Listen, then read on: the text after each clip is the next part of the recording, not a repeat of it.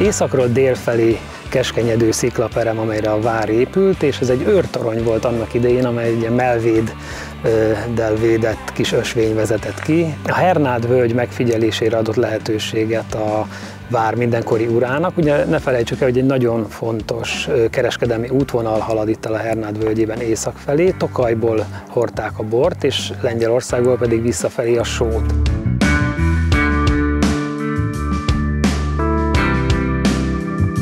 Ez elsősorban nem egy ilyen nagyon erős katonai erődítmény, inkább ilyen megfigyelőpont, nagyon komoly csaták nem fűződnek hozzá, viszont rendkívül regényes az egész várnak a története.